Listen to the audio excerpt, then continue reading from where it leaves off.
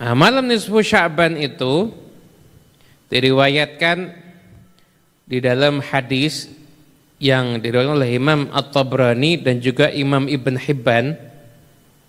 Jadi beliau meriwayatkan bahwasanya Rasulullah sallallahu alaihi wasallam Rasul bersabda yattali'ullahu ila jami'i khalqihi lailatan nisfi min Sya'ban fayaghfiru li jami'i khalqihi illa li musyrikin musyahin Allah taala memandang dengan pandangan khusus kepada semua makhluknya di malam nisfu Sya'ban maka semua makhluk tersebut diampuni sama Allah taala kecuali dua kelompok. Siapa? Musyrik. Yang pertama adalah orang yang menyekutukan Allah. Dan yang kedua adalah musyahin. Orang yang dia itu menyimpan permusuhan, suka bermusuhan dengan sesama saudaranya. Putus silaturahmi, benci sana, dendam sana, musuhan sama sana, sama yang ini nggak cocok, musyahin. Jadi orang yang hidupnya itu banyak bermusuhan, nggak mau nyapa ini, nggak mau negur si B, nggak mau sal, menyapa si A dan lain sebagainya. Orang seperti ini Anda bayangkan dalam urusan tidak mendapatkan rahmat Allah itu seperti orang yang musyrik yang menyekutukan Allah. Bahaya apa enggak? Bahaya. Makanya permusuhan itu enggak membawa untung apa-apa hati semakin kotor dan kedudukan dirinya seperti orang yang menyekutukan Allah. Kenapa sama-sama enggak mendapatkan ampunan pada malam nisfu Syaban itu. Kemudian nah, juga riwayat yang lainnya itu pernah diriwayatkan pula di dalam riwayat Imam Al-Baihaqi juga sesungguhnya jika datang malam nisfu Sya'ban maka ada seruan. Hal min mustaghfirin faghfiralah ada enggak yang mau beristighfar maka saya akan ampuni. Hal min sa'ilin fa'udiyah. Ada enggak yang meminta saya akan kasih fala yas'alu ahadun syai'an illa udiyah maka tidak ada siapa pun yang meminta kecuali pasti permintaannya akan dipenuhi sama Allah Taala. Kecuali di sini disebut kecuali orang yang berzina dengan kemaluannya dan juga orang yang mus musyrik. Itu. Ya, banyak sekali eh, riwayat-riwayat eh, tentang keutamaan malam nisfu Sya'ban.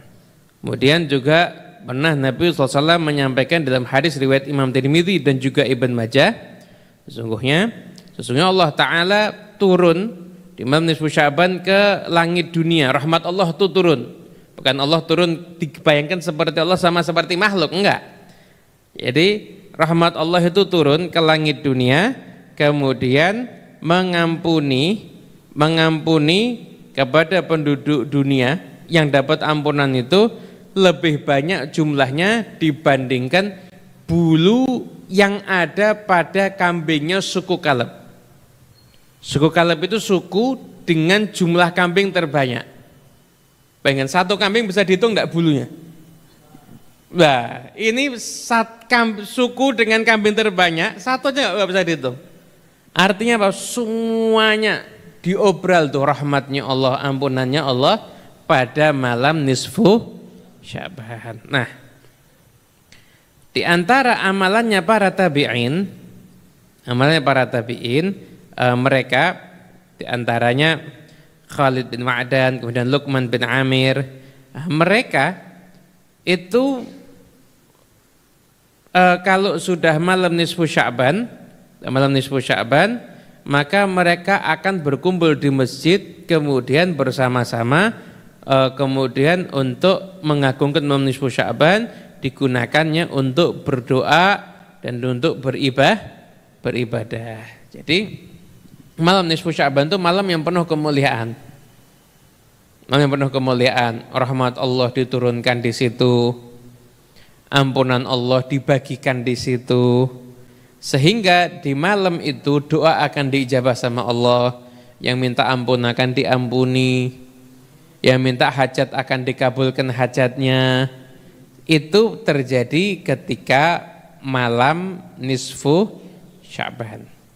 Oleh karena itu kita usahakan malam nisfu Sya'ban ambil bagian daripada kemuliaan malam tersebut.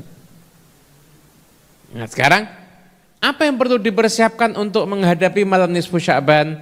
Yang perlu dipersiapkan untuk menghadapi malam nisfu Sya'ban adalah yang pertama yaitu pelajari kemuliaan malam nisfu Sya'ban jadi kita mengetahui keagungannya sehingga kita punya harapan besar kepada Allah Ta'ala ketika kita berdoa dan beribadah di malam itu. Itu yang pertama. Yang kedua, bersihkan hati. Jangan sampai kita masuk di dalam kelompok orang-orang yang tidak mendapatkan ampunan pada malam nisfu Sya'ban.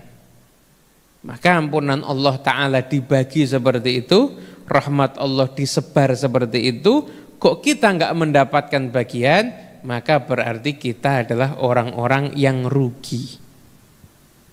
Gitu. Kemudian yang ketiga, longgarkan waktunya untuk beribadah. Nah, terserah kalau di di sini ada di, di Masjid Ar-Raudhah itu di musola ini baca doa nisfu Sya'ban.